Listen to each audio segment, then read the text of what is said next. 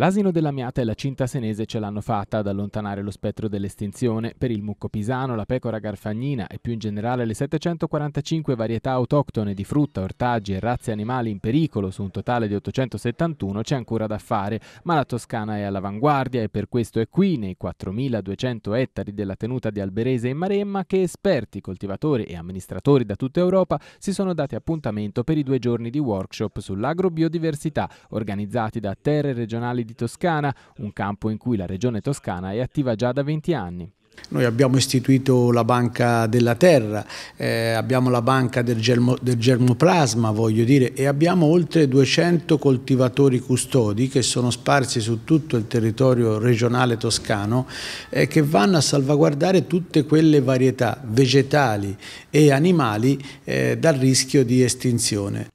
Un patrimonio fatto di specie pregiate come i cavalli e le vacche maremmane, al centro di una speciale lezione dei butteri, ma anche di ortaggi e verdure dalle grandi proprietà nutritive esposte nella mostra mercato del coltivatore custode, con un obiettivo preciso, diffondere le buone pratiche di valorizzazione delle diverse varietà in vista anche di un loro possibile rilancio sul mercato. Queste risorse genetiche di cui in particolare la regione toscana è estremamente ricca sono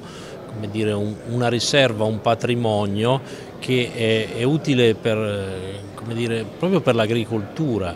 L'agricoltura nell'ottica ad esempio anche dei cambiamenti climatici. Cambiamenti che rischiano di compromettere le specie e le varietà che Terre Regionali di Toscana tutela con le banche del germoplasma e con la Banca della Terra, un catasto online dei terreni pubblici e privati spesso in zone marginali destinati alla creazione di nuove imprese agricole o all'ampliamento di quelle esistenti dove valorizzare l'agrobiodiversità. La diversificazione e l'utilizzazione eh, di specie autoctone radicate al territorio e quindi collegate anche a una identità culturale dei territori dà sicuramente maggiori opportunità e maggiori speranze di, di successo a questi, a questi terreni, a queste realtà marginali